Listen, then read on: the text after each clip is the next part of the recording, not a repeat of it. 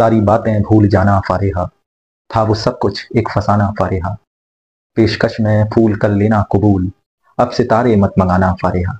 John Elia दोस्तों, अगर आप जॉन एलिया के फ़ैन हैं तो आपने जॉन एलिया के कई सारे अशार पढ़े होंगे, जिसमें वो फारेहा नाम का कई बार ज़िक्र करते हैं।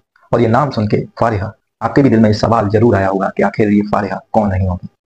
कई सारे फैंस का ये मानना है कि फारेहा शायद जॉन एलिया की कोई महबूबा रही होंगी। कुछ ना कुछ ताल्लुक रहा होगा उनसे। लेकिन असल बात बिल्कुल इससे उलट है। असल में दोस्तों, फारेहा जॉन एलिया की एक ख्याली महबूबा है।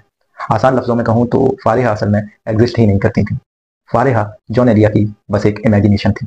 अपनी किताब शायद में तो जॉन एलिया ने फारेहा को डेडिकेट करते हुए पूरी लंबी सी गज़ल भी लिखी है। और इसीलिए कई सारे लोगों को लगता है कि फारेहा जॉन एलिया के साथ कोई ना कोई, कुछ ना कुछ तो ताल्लुक ज़रूर से रखती होंगी। लेकिन असल बात यह है कि जॉन एलिया ने सिर्फ़ फारेहा ही नहीं, फारेहा की तरह कई और भी ख्याली नामों का ज़िक्र किया है अपनी गजलों में। जैसे कि उनका एक शेर है, जहरा मेरा सितारा, ये किस्मत खराब है।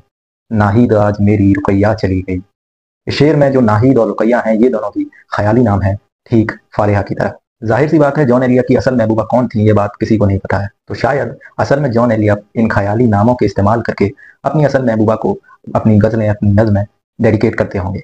जहाँ तक अपनी बात करूँ, अपने पॉइंट ऑफ़ व्यू की बात करूँ तो मुझे लगता है कि जॉन एलिया असल में किसी के लिए नहीं लिखते थे। जॉन एलिया सिर्फ़ जॉन एलिया के लिए लिखते थे।